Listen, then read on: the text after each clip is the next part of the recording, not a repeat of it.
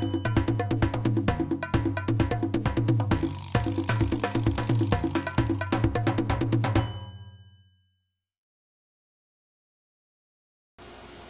YouTubers, Schel Sullivan here, and welcome back to my channel. This is the third video in the shoulder mounted rocket launcher project. The first video, I showed you how I made the side loading gun cotton combustion chamber. The second video showed you how to use that to create the rocket launcher itself. And in this third video, I'm going to be teaching you how to make the cardboard tubing rockets. They're designed to fit snugly over this 3 quarter inch PVC tubing. Creates a nice airtight seal very important. They're quick, they're cheap, they're easy to make. Because trust me, if you live in a wooded area like I do, you're going to lose plenty of them. So wife's going to shoot my rocket launcher up in there. Yep. Hold it straight up as you can.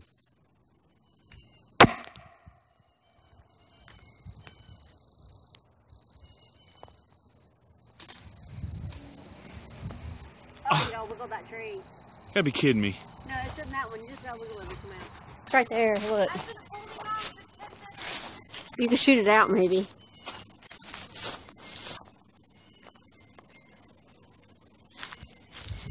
So let's get started building these rockets. The rockets will be constructed using the following tools and materials.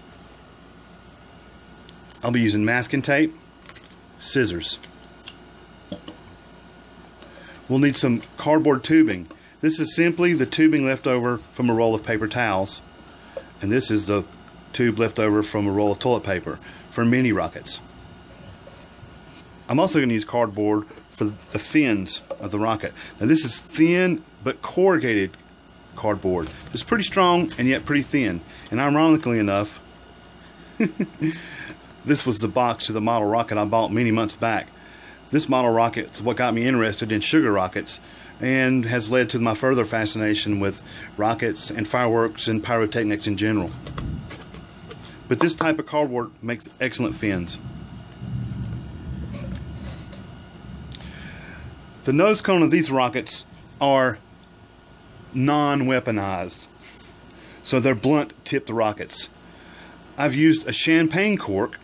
It fits great in that tube and creates a nice blunted end. It's nice and strong. But if you don't drink a lot of champagne, then these half inch PVC end caps work really well. We're going to use our trusty glue gun for assembly. And of course, if you follow me through this project, you'll end up with a piece of extra PVC, about this much, a little less than two feet, I think. So I've sanded this in smooth and kind of beveled this edge. That's important because we're going to be fitting rockets down on in that, much like we did the barrel of the rocket launcher itself. Now to hold this jig steel, I've just stacked me some wood up and set me a vise up here. So I'm going to drop that down in there, give this a couple turns, and that's going to hold my pipe steel for me while I'm gluing on the fins. The first step is just a simple cut straight up the length of the cardboard tube. After you cut a straight line up your cardboard tubing, have a piece of masking tape ready to go. Fit the cardboard tube over your pipe and squeeze it down until you get a pretty snug fit. At this point, it's also important to check and make sure that the tip, that we've not rolled it up so tight that we can't fit in your nose cone of choice.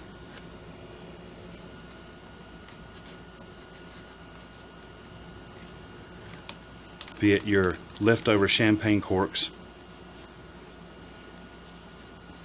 or your PVC end cap pipe, half inch.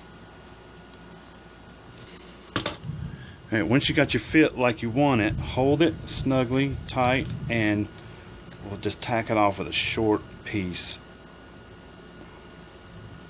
of masking tape. We'll add another piece here at the fin side.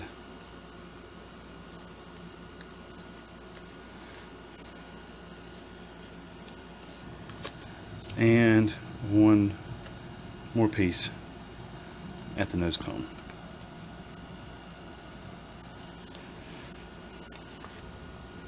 All right, our fit looks really good.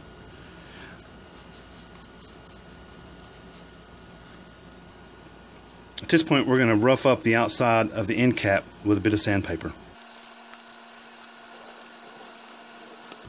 That always helps when you're gluing stuff. We're going to use hot glue to mount this end cap, nose cone, about right there. So I guess we have like two thirds of the way in. I find leaving about that much out helps kind of protect the end of your rocket. This part here can take quite a bit of damage. So we're going to add a bead around the inside here, close to the edge, because a lot of this is going to get pushed back when you insert the end cap.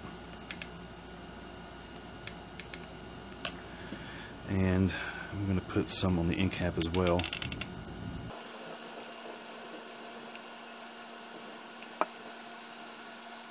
And in it goes.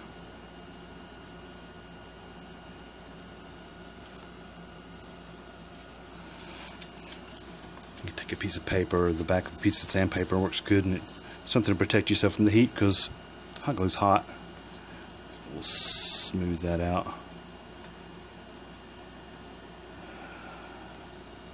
So I've used a, a, a, liberal amount of glue in there, and that's important because you don't want this plug to blow out. But what I've got now is I have a bunch of hot glue that's been squished up internally on the inside of this tube, and I want to make sure that this rests in a nose down position so that that hot glue doesn't drip further into the inner diameter of this tube. That would prevent it loading onto the PVC pipe properly. So let it rest vertically for a few minutes to make sure that that hot glue is fully dripped down and cooled down. We've returned the rocket to its jig and now we'll wrap it with tape. We'll start off with a, a diagonal run from the nose to the fin.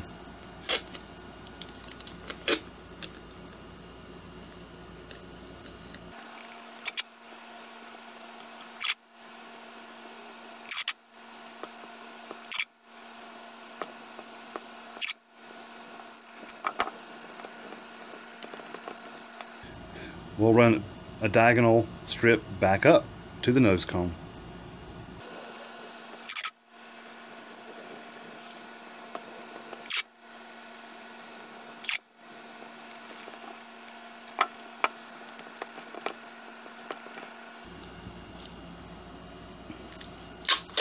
Add some fin side reinforcement.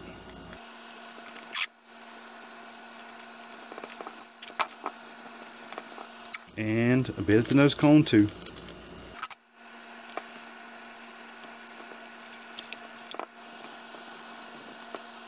This much tape has made a rocket pretty, that's pretty strong. I've been able to shoot these rockets in repeatedly into cardboard targets, um, and they've held up very well. I've had the fins get a little bent up and yeah, sometimes you'll see it start to get a little bendy in the middle, but they held up nicely. And now we can cut some fins. I haven't bothered making a template for this fin shape. The first time I just eyed it out, it worked well. And I've just kind of roughly eyed it out from each previous design.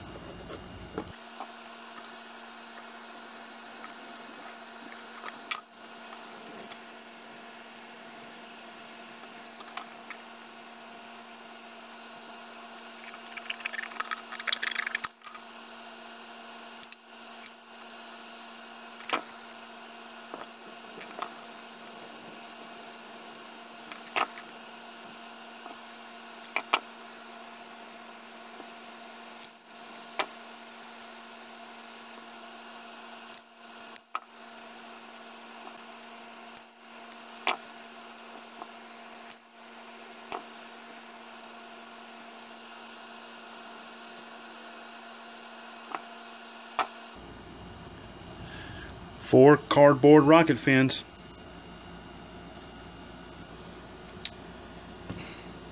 I suppose you could make some sort of template in order to get these exact. But I've just been I, I've just been eyeing them on. So we'll run a bead of hot glue down the back side of this.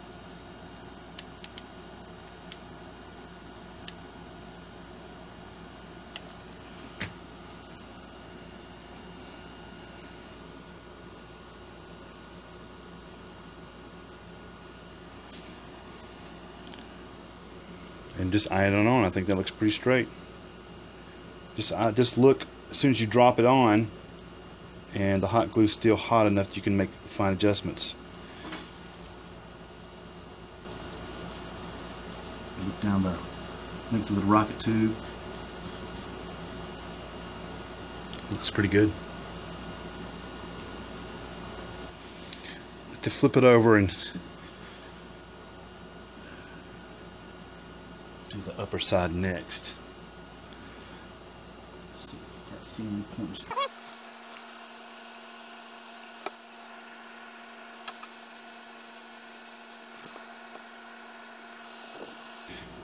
I had a user suggest that I glue these on at a slight angle to induce some um, some spin stabilization, and and he's absolutely correct.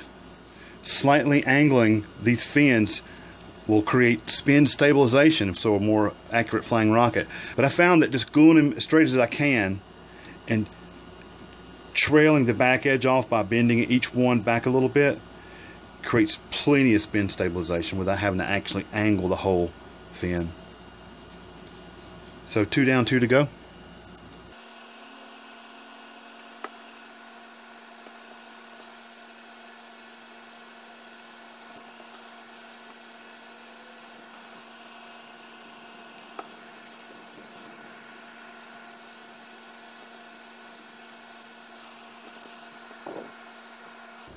Not bad for just eyeing it. This one's a little crooked here. That's right, because you know what we're going to do? Of course you do. We're going to reinforce this with a bead on each side.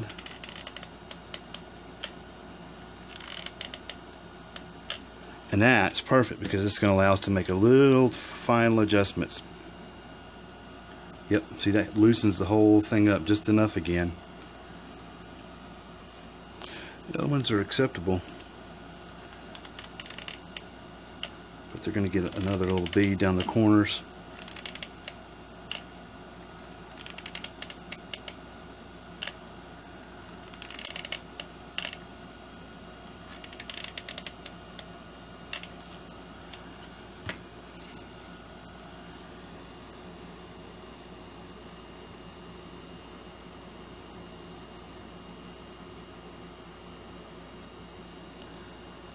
All right.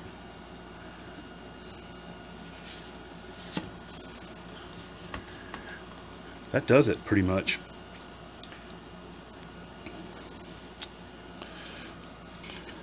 There we go. Perfect. This feels like a nice airtight. Let's get that thunk.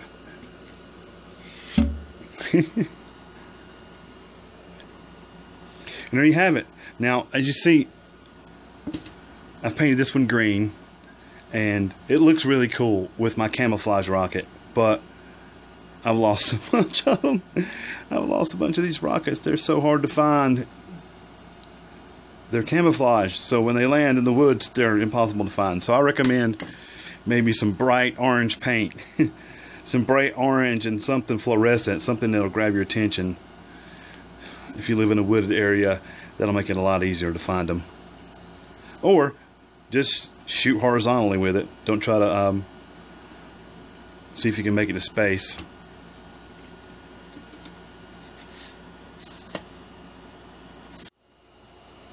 Okay, YouTubers, that does it. Now you understand the complete build, the complete system for the shoulder-mounted rocket launcher. I don't recommend you try that at home um, unless you're an expert at that kind of thing. But if you do decide to make this at home, what you should never, ever, ever do is weaponize your rockets. Oh.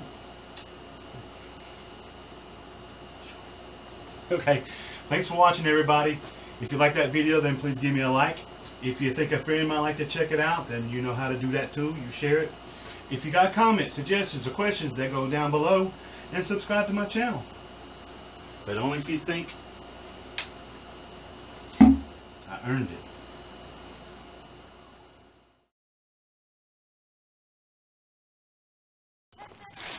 You can shoot it out maybe.